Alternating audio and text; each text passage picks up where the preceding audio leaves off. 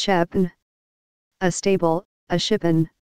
Obsolete the Shepney Brenning with the black smoke. Chaucer.